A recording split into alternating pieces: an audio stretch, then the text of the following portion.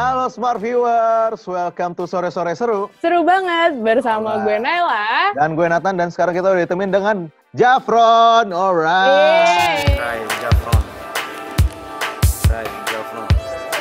Kalau kalian semua subscriber gue yang udah lama, kalian pasti tahu banget dengan teknik-teknik yang biasa gue pakai di Trivlogpi ataupun konten-konten Instagram. Ya, hyperlapse.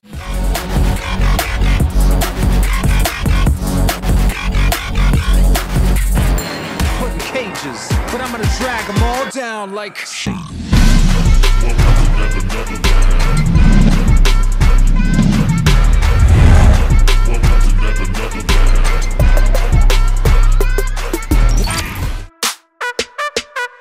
Selamat datang kembali channel ini, and I'm Makri Jambon So, di video ini gue mau membahas tuntas mengenai kamera baru gue.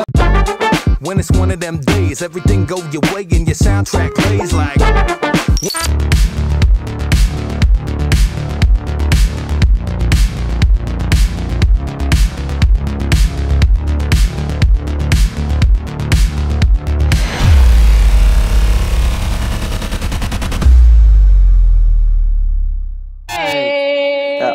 Ya, Halo nah, semuanya, gue Jafron. nah, Oke, Jafron, ini gue perlu bilang dulu ya kalau, nih mohon maaf, eh, gue narsum gue belakangan ini semuanya eh, orang yang emang gue ikutin. Gue, tuh kenal lu, eh, lihat, maksudnya kenal dalam arti gue ngelihat eh, follow lu gitu ya.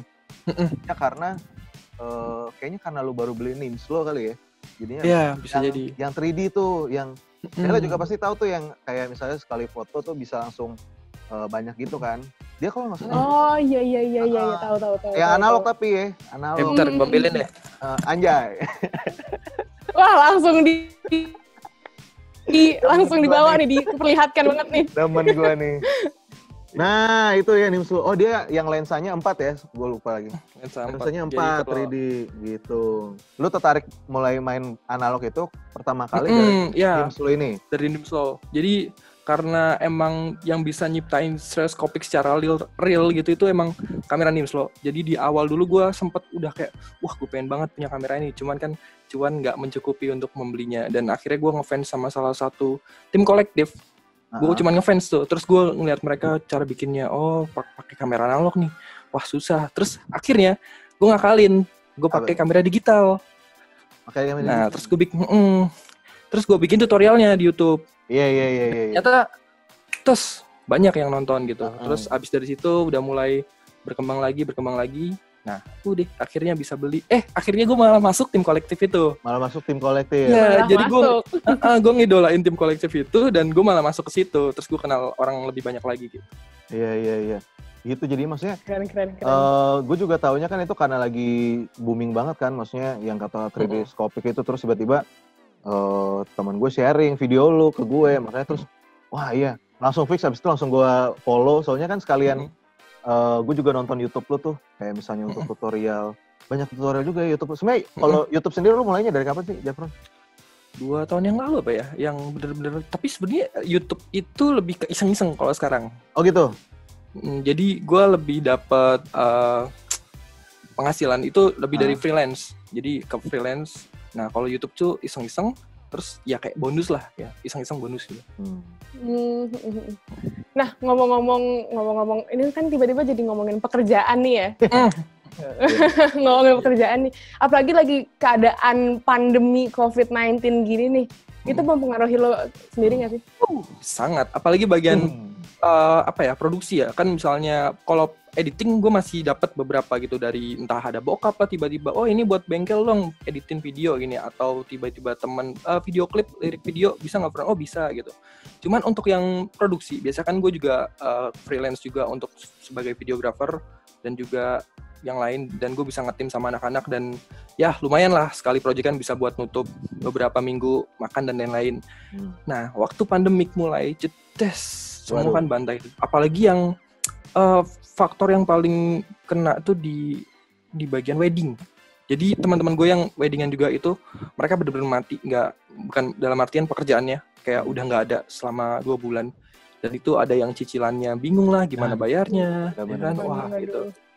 Parah sih emang pandemik. Terus abis itu di minggu eh bulan kedua pandemik, gue mikir kan, aduh ini gue nggak bisa gini mulu nih gue harus bikin terobosan baru terus Hmm. gue mikir ah, apa ide-ide yang belum gue eksekusi gitu terus abis itu oh iya nih kaos nih kaos nih gue pernah Iya iya benar benar. pikiran untuk bikin kaos kan gitu gue pikiran banget bikin kaos yang udah gue konsep dari zaman dulu dan gue di YouTube kan gue bikin series namanya The Six Eye di mana di The Six Eye itu setiap video sebenarnya ada simbolis dari sesuatu hidup gue gitu misalkan yang pertama itu unboxing di mana itu gue lahir terus gue punya nimslo gitu kan terus abis itu yang kedua itu ada freelance terus yang ketiga ada eh, banyak pokoknya ntar ada friends family jadi gue bakal nyeritain juga keluarga gue dan lain-lain lalu apa lagi ya ya itu Ya, Tadi itu ya. pertanyaannya apa deh? Nyambung ke situ. Tadi ngomongin gitu. pekerjaan ya, tapi akhirnya sampai Iya, pekerjaan, pandemik. Tetap juga masuk. Heeh. Tapi Jadi, kalau toh ngomongin mengenai si baju itu, gue juga menarik sih. Maksudnya kayak jarang aja nggak sih men? Maksudnya eh, buat teman-teman juga yang belum lihat nanti eh, akan gue share juga gimana sih penampilan dari si eh, bajunya ini. Soalnya kalau misalnya di Betul, belakang itu kayak bisa di scan lewat eh, filter Instagram ya, bener ya? Lewat filter Instagram. Instagram aja gitu. Futuristik banget tuh kayaknya. Ya, futuristik bener. Futuristik banget. Soalnya kayak Soalnya, mm-mm. bener dua tahun yang lalu itu pertama gue ngelihat eh, sebuah sen bukan seniman apa ya apa pameran jadi ada pameran lukisan gitu dan Hmm. gue ngelihat di sana tuh ada barcode barcode yang bisa di scan jadi sebuah artworknya keluar atau bergerak terus gue kepikiran gitu kenapa kita nggak menggunakan ini sebagai futuristik di baju gitu kayak Hmm. itu kayak next level banget gitu jadi lu nggak cuman beli sebuah baju yang enak digunakan tapi di situ emang ada nilai yang value-nya gede sebagai Betul. artworknya itu gitu Nah, terus gue masukin lah, gue masukin desain-desain yang emang itu gue banget sama eh, sesuai konsep yang merch yang gue pengen gitu. hmm, Makanya ada gambar Nims lo, karena Keren, emang itu temanya The Six Eye. iya, iya. Keren, Tapi keren, keren. Kenapa? Berarti Eh, Nela dulu. Mohon maaf nih kalau misalnya Nathan dulu deh, silakan. Nathan dulu, nggak apa-apa. Tektokan rada ribet ya, saling ngomong aja. Nggak apa-apa, Nathan dulu aja, silahkan. Ya, Oke baik. Eh tapi nih eh, si Jafron kenapa lu ada prosesnya ini kenapa sampai bisa sampai dua tahun sih atau karena memang ada kesulitan-kesulitan atau memang ribet untuk desain si eh, eh si Hmm. filter itu? Enggak sih, karena emang dulu itu kalau kalau dulu kita kan harus beli sebuah software untuk Oke. membuat scanannya itu. Jadi gue kepikiran untuk kayak, aduh harga scanannya segini. Kalau gue bikin kaos gini, berarti harga kaosnya bisa mahal banget nih. Oh iya. dan itu heeh, dan dan du- dua tahun yang lalu pun gue mikir kayak gue bukan siapa-siapa ya sekarang juga bukan siapa-siapa sih maksudnya dalam arti meroket nih. jadi kayak apa ya followernya masih belum ada apa-apanya. Terus yang kenal gue juga hanya beberapa temen doang. Jadi kayak mm, gue kayak nggak bakal worth it banget kalau gue jualan sekarang gitu. Hmm. dan yang beli pun akan dikit. Jadi kayak ya tar dulu deh gitu. Dan kemarin itu nah oh iya dua hari yang lalu dua hari yang lalu gue bikin PO lagi. Satu Iya, jam iya. langsung full. Makanya itu. cuma satu jam. Wow. Mohon maaf, lagi gue telat dikit, gue pengen order waktu itu beneran serius. Mohon maaf, udah langsung habis. Ya ampun, buset. banyak banget itu ada sekitar 30 orang yang wah bang kok gue telat ya Iya, Udah, udah, aduh. sorry. Nathan salah satu dari 30 Soalnya orang itu berarti ya. Wah, gitu bener-bener kan. deh. Buset itu kapan lagi? Maksudnya lo kalau misalnya pakai kaos itu bisa jadi bahan omongan juga. Eh guys, coba cek nih di belakang gue. Scan, Bener, scan. bener, bener. Gitu. Kayak- Eh, tapi tapi ini lucu juga ya. Berarti sekalian buat eh, promo si Jafron juga kalau orang pakai. Hmm. Coba scan deh pakai Iya, filter. Filternya filternya Jafron. Mohon maaf. iya. Iya, bener juga. Sekalian. dan apa ya di de- depan itu kan cuma filter muka jadi kayak orang ngeliat kayak oh bang Jafran bikin filter muka doang padahal sebenarnya di Hmm. belakang bisa buat check-in gitu kayak Hmm. ya itu something yang ya pun nggak bisa lu ah bisa juga orang kalau pengen nyeken paling ke buka laptop atau apa kan ada artwork gua tuh bisa di scan Ah. juga lewat situ Iya, iya. Betul, betul. kalau emang cuma pengen iseng gitu kan tapi kan kalau di baju itu kayak proudnya Di- nambah gitu Yoi bener itu yang gue Iya, maksud. bener, Gua bener. lebih, wah I bring something different Uh, eh? Betul. Pamernya nambah, pamernya sesuatu yang baru gitu kan. Gitu dia kan. Nah, tapi ini coba kita tarik kilas balik ke belakang dikit lagi ya. Nah, oke Jafron, lu kalau misalnya bisa eh, menggambarkan diri lu ini sebagai apa? Content creator, video creator, atau videographer, fotografer, Oke. atau gimana bilang? Oke, kalau gue ya, gue sendiri bisa dibilang content creator karena kalau di YouTube sama Instagram otomatis gue content creator. Tapi di dunia lain gue juga freelancer sebagai videographer sama editor. gitu. Iya, iya. Terus abis itu apa lagi? Kalau fotografi itu gue cuman passion doang sih. Bukan passion, Fotografi hobi lebih oh, oke. Ah, lebih ke hobi. oke. Jadi kalau yang lain kan gue tekanin ke passion, kalau yang fotografi ini cuman hobi. Jadi kayak Hmm. iseng-iseng doang lah, yang penting happy gitu. Misalkan jalan Hmm. ke mana terus ngefoto cewek gue atau ngefoto model gitu tuh cuman Hmm. bonus untuk mengisi apa ya, ya waktu untuk Mm-mm. tapi positif. Positif, bener. Dan bisa jadi konten eh, YouTube lu juga gitu kan? Bener. Gitu. Tapi kalau misalnya untuk di bagian porsinya nih, eh, YouTube dalam prioritas lu eh, bisa dibilang nomor berapa nih sekarang? Sekarang prioritas YouTube itu nomor tiga. Nomor tiga? Ya, Oh, gitu, pertama nomor- itu kuliah. Oh siap, mantap. bener, bener. Wow, Mantap, mantap. bagus, mantap, bagus, bagus. Mantap. Oh iya, ngomong-ngomong binus ya. Binus tuh adalah salah satu tempat Dapat dipatahin ke binus di mana ya.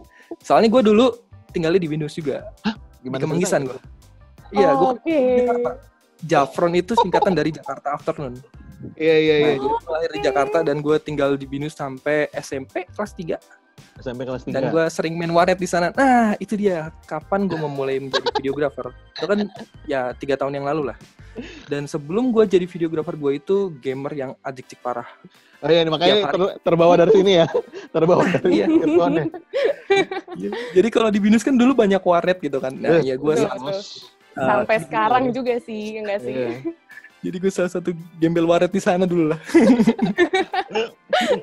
Seru ya makanya. Oke, jadi dari situ. Jadi eh eh ma mohon maaf nih Nah. kenapa jadi hilang juga. Waduh, Nathan ke mana nih Nathan? guys. Nathan baru menggunakan teknologi baru nih. Iya. Ini mohon maaf, asal gue pengen kasih tahu ya, ini gue thanks tuh untuk eh, Glenn Prasetya. Ini sebentar dulu kita, karena minggu lalu yang ngajarin gue untuk pindah jadi ke HP, ini dia nih, Jafron. Lu tau gak Jafron, kalau misalnya memang dari webcam bisa dipindahin ke HP, gue baru tahu bos. Ini gue juga pakai HP. Kayak iya, kayak Oh, Jafran pakai juga deh. Iya makanya, Kalau Jafran juga pakai HP juga. Iya, gue memperhatikan bisa. sih sepertinya. Tapi jadi gue PC cuman kameranya di HP. Iya, benar, ke benar, ke WiFi. Oke, Nora, gue telat ya, mohon maaf. Mohon maaf. Doang yang Ya, cukup kayaknya. intermezzonya. Cukup intermezzonya.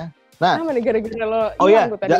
eh, Jafron dari awal kan. Jadi sebenarnya Jafron itu memang singkatan dari Jakarta Afternoon gitu. Yap. Benar. Gitu. Akhirnya jadi Shock eh, banget gue. jadi nama apa jadi nama eh, panggung lu lah gitu bisa dibilang ya. Jafron, Sebenarnya nama asli sih. Itu Ah. Itu nama asli. iya. eh, nama asli sorry. Itu nama asli. Oh, jadi dulu Jakarta eh, Afternoon tadi gue mikirnya. karena kan apa ya nama gue kan Jafar Mekri gitu kan. Terus gue mikir kayak gue pengen sesuatu yang beda gitu kayak sesuatu yang ya kan orang kan pasti susah untuk menyebutkan kalimat kedua gue eh kata keduanya kan yang Mekri. Jadi Iya, gue taruh di Mekri. depan betul biar betul. gue Jafron. Mekri Jafron kayak gitu. Iya. Jadi orang tetap tekan yang sama belakang dan ya itulah gue gitu. Heeh. Makanya di Instagram sama YouTube Mekri Jafron. Mekri Jafron. Nah itu ya, mohon maaf ini untuk yang tadi nama belakangnya itu satu studio ini kita mencari-cari. Aduh, ini sebutan nama Tapi panggilannya. btw namanya Jafran ini unik banget ya sampai Nathan aja ngiranya itu nama panggung loh. Tuh kan. Ya, semua subscriber pun pada gitu tapi ketika gue buka instastory uh, instastory di apa namanya di oh nomor rekening kemarin kan nomor rekening Nama- kan? Uh, uh, Rekening, itu betul. nama asli bang oh iya nama asli itu makanya maksudnya. Tapi eh, lu dengan nama lu ini ada pernah menemukan eh, hal-hal lucu nggak sih? Misalnya ketemu Hmm, orang, bener, bener, orang bener. bule lagi, Jeffron, Mm-mm. wait, are you Indonesian? Ya gitu kan. Iya, bener bener Hmm. bener. kalau bule sih masih oh iya iya aja paling ya jadi Iya. gue juga punya temen beberapa bule yang dari entah itu Rusia Polandia Cina ketemunya juga gara online sih ada yang Tinder lah Oh, iya. ada yang iya tapi cuma jadi temen gue kan suka orangnya Oh, gitu. kayak Iya, sama iya. banyak orang gitu Mantap. terus mm, ada yang lewat Instagram terus hingga akhirnya ketemu terus kolaborasi terus dia ngedance gitu kan tuh unik sih dah seperti gue juga nggak jago-jago bahasa Inggris cuman gue berani aja untuk ngomong gitu Betul, betul. ya Iya, akhirnya iya, makin lama kayak terbiasa gitu Betul, betul, betul. gitu. Oke deh. Nah, itu kan dari nama lu, terus dari eh, lu pertama kali akhirnya sampai cerita tadi sampai di binus dong, Bos. itu mulai suka videografi ya. Nah, akhirnya mulai jadi bikin lu kayak eh, turning point akhirnya oke ini ha- bisa gue seriusin untuk jadi pemasukan gue itu gimana ceritanya? itu pertama sebenarnya ah, gua singkat aja jadi dulu gua pernah putus lah sama seorang cewek waktu gue masih gamer gitu kan. Ya, oke, terus gua wah sakit hati gitu kan. Aduh ikan curhat banget Baik. nah habis dari situ gue nelpon nyokap terus nyokap Oke. bilang kayak coba lu ganti hobi deh jangan ngegame doang. Lu nyari sesuatu yang lebih nyata gitu. Apa ya? Terus main panah kayak apa kayak gitu. Yang lain pokoknya gitu kan.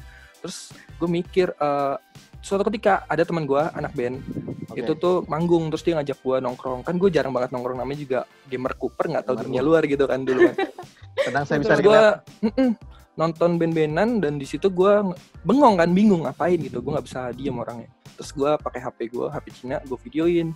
Nah kebetulan gue pernah ngedit-ngedit uh, cut doang buat ngerjain tugas waktu SMA apa ya nah cut doang di Sony Vegas dulu nama softwarenya. Nah ya udah gue shoot terus gue edit dan wah gue upload Instagram. Kok seru nih gue punya sesuatu yang bisa gue upload di Instagram. Terus Hmm. Ya udah setiap minggu gue selalu menekankan diri gue untuk ngupload suatu video kayak gitu terus kayak entah apa pun itu videonya gue shoot aja gue shoot edit shoot edit upload kayak gitu.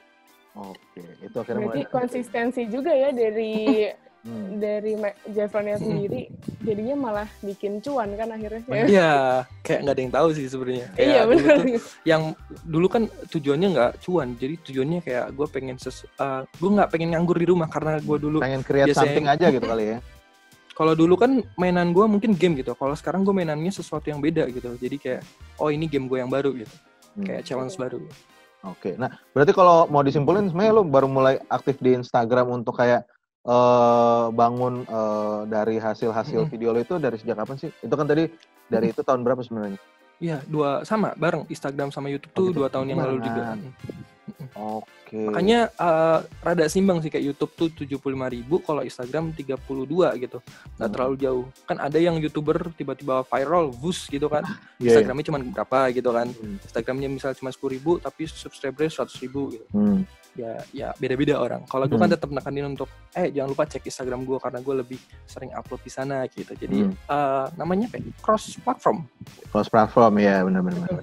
Nah, kalau misalnya berikutnya juga nih eh, dari lu juga nih Jafron, kalau misalkan sekarang ini semenjak lu ada ini kan kita lagi masa pandemi gitu kan. Ini sekarang masih di rumah-rumah ini juga makanya kita syutingnya masih eh, dalam kondisi Zoom juga nih gitu. Iya benar, social distancing. Social distancing bener banget. Nah, kalau misalnya sekarang ini berarti lu eh, memberatkan di YouTube juga kah atau masih cuma di Instagram Instagram terus sekarang? Hmm, gara-gara pandemik nih gue lebih sering bimbingan skripsi sih sebenarnya karena online kan. Bagus, bagus, bagus, bagus. Soalnya kalau dulu Pendidikan kan nomor satu, benar. ya jadi gue kul di Jogja ini kan gue numpang kuliah sebenarnya. Ya gue Iya. kuliah. Nah terus gue sekarang udah semester 10 Ya karena Iya. biasalah. Dulu terlalu ngejar karir gitu. Hingga akhirnya gue Betul, semester 10 dan gara-gara pandemi. Ah dulu kan kalau bimbingan biasanya nih kita kan janjian sama dosen tapi dapatnya pagi lah, entah siang dan kita harus ke Betul. kampus gitu kan. Nah, gara-gara pandemik ini gue jadi kayak bisa kapan aja itu entah siang entah sore gitu nggak pagi gitu jadi kayak wah ini kesempatan gue untuk ngerjain skripsi gue yang tertunda nih yang udah dua tahun nggak gue apa-apain gitu kayak oh, it's time gitu dan akhirnya selama pandemi ini gue dua bulan gue dari bab satu itu udah bab empat sekarang Mantap. Keren, keren banget.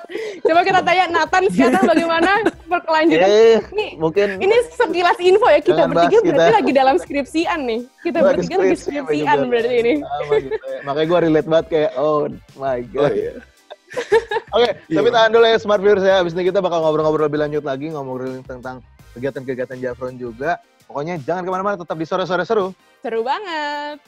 seru banget mantap